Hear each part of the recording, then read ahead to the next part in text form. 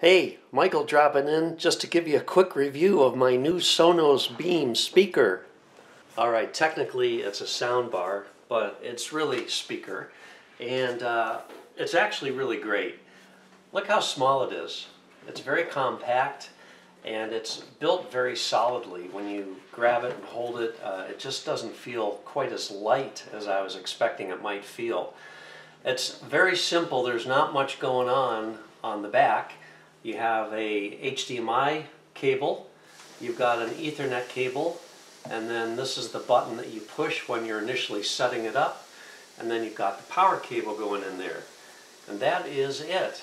And then on the top you've got your standard, if you're using a Sonos One speaker, this is going to look pretty familiar to you. It's your basic control panel right on top of the speaker. You can turn the microphone on or off with a simple touch of the button. You can also do that from the app. And then you've got your volume buttons, plus or minus, and also your play pause button in the middle here. What I like about this is the Alexa integration and there are uh, some limitations with the Alexa implementation, but having said that, I use this in conjunction with my Sonos One speakers that are interspersed throughout the house. And we have a, a bot vac that is controlled by this, as well as many uh, smart plugs we have scattered around the house. And we're able to control all those through the Sonos, as well as the Echo Dot that I also have. The only limitation that really bugs me is that I can't group an Echo Dot with the other Sonos speakers. But that's not Sonos's fault, that's uh, Amazon's fault. So uh, please send your complaints to Amazon about that.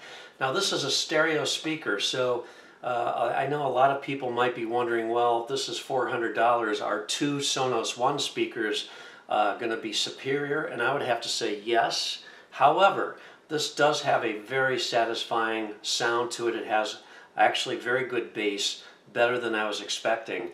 And I am not disappointed by the sound quality of the Beam whatsoever. Uh, the fact that this is a self-contained stereo unit and it's not that large means that I can place this in all sorts of different places. And uh, to be quite honest, I'm not even going to use this with my HD TV right away. I've just got this, I just bring this around with me and place it in different rooms until we find a place where we absolutely want it to stay. But you could mount this up on the wall, you can put it on top of a hutch, you can have it sitting on a table.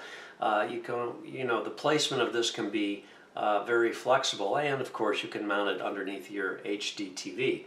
So it does work really well. I can ask Alexa to tell me what the temperature is. Alexa, what's the temperature?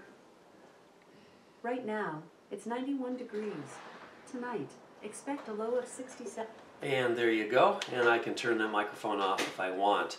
Uh, very attractive. It does have, uh, you know, all the speakers are, are in here and it has a lot of microphones and obviously, um, like most of the Sonos speakers that I own, the Sonos One particularly, the, uh, the microphones pick me up across the room even when music is playing or dialogue is going on.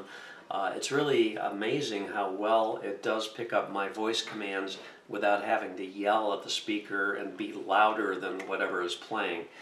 Some people say that doesn't work as well. I'm not really sure what they might be doing wrong or what the difference is, but it works very well for me.